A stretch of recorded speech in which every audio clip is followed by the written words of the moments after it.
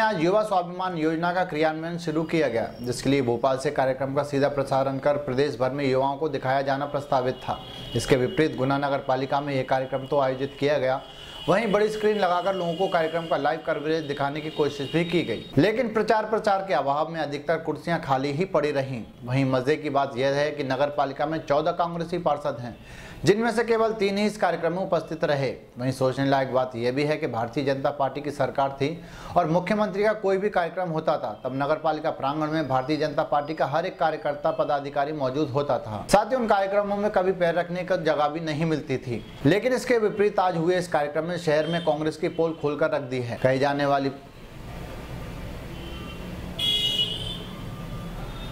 गुना विधानसभा क्षेत्र में मुट्ठी भर कांग्रेसी भी इतने बड़े कार्यक्रम के आयोजन में मौके पर उपस्थित नहीं हो पाए। यह लोग दावे करते हैं कि सांसद ज्योतिरादित्य सिंधिया की अगुवाई में गुना संसदीय क्षेत्र से ज्योतिरादित्य सिंधिया ही सांसद बनेंगे। लेकिन आज तक ये कार्यक्रम बताता है कि गुना कांग्रेस में एकता की नाम की कोई चीज़ ही नहीं। ना तो नगर में कांग्रेस जिला अध्यक्ष मौजूद थे और न ही कोई अन्य पदाधिकारी।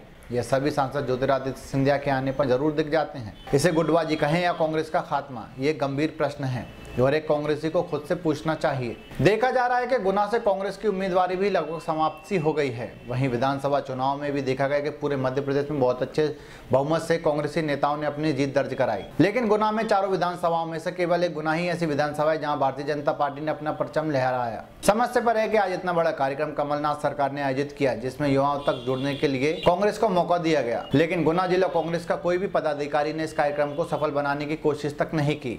मात्र लिपा पोती बनकर रह गए ये कार्यक्रम, जहाँ कार्यक्रम के स्थल पर युवा दिखे ही नहीं। कांग्रेस के कार्यक्रम में भारतीय जनता पार्टी के कार्यकर्ता ना हो तो बात अलग होती है, लेकिन खुद कांग्रेस, जो कि पंद्रह साल बाद जैसे तैसे अपनी सरकार बना पाई है, वही गुना कांग्रेस ही इतना अच्छी योजनाओं को भी बुना नहीं पा रही। आगामी समय में ये देखने लायक होगा कि लोकसभा चुनाव में गुना संसदीय सीट का ऊँट किस करवट बैठता है। क्योंकि यहाँ कांग्रेसी कोई काम ही करना नहीं चाहते। अगर वह इतने ही जवाबदार होते तो आज के कार्यक्रम में नगर पालिका कैंपस में पैर रखने की जगह भी नहीं होती।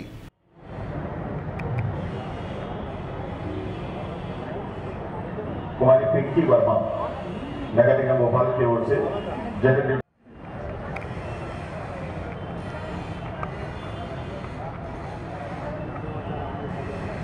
Shri Deepak Kumar Pandey ji. General duty नगर निगम, भोपाल सीसीटीवी बुनियाद है। आज हमारा कृषि क्षेत्र लगभग चौपट है। किसान उत्पादन कर लेता है, मूल्य नहीं मिलता। मूल्य मिलता है तो कर्जा नहीं पटा सकता। तो हमने सबसे पहले यह कदम उठाया कि हम अपने कृषि क्षेत्र में जब तक हम सुधार ना लाएँ, तब तक हमारे मध्य प्रदेश की अर्थव्यवस्था सुधर नहीं सकती। नक्शा बनाया जाए। बहुत बड़ी चुनौतियाँ हैं हमारे सामने।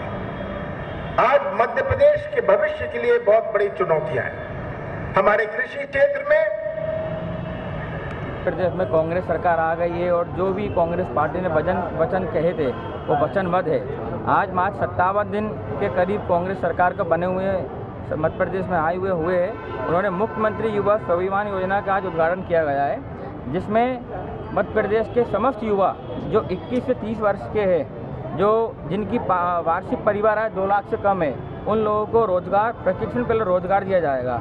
और हर माह चार हज़ार रुपये और सौ दिन का पूरा कार्यशैली उनको 10 दिन में पूरी सिखाई जाएगी और उनको सौ दिन का कार्य दिया जाएगा और सौ दिन में तेरह हज़ार रुपये की उनको महीना फ़ी, उनको तनख्वाह दी जाएगी। इसी के साथ युवा अपना एक खुद रोज़गार भी कर सकते हैं और आगे बढ़ सकते हैं। और इसी के लिए आज पूरे भोपाल में माननीय मुख्यमंत्री द्वारा इसका उद्घाटन हुआ है, जिसमें हमारे जयवर्धन सिंह जी, मंत्री एवं हमारे समस्त मंत्रीगण उपस्थित। तो करीबन अभी तक कितने बच्चों का रजिस्ट्रेशन हो चुका है? गुना में करीब ढाई हज़ार बच्चों ने इसके लिए अपना आवेदन दिया है और उनका कंप्लीट भी हो चुका है। प्रोफेशन उनका बहुत जल्दी चालू होने वाला है। यानी युवाओं को जागरूक करने के लिए कुछ और भी प्लान है आपके पास?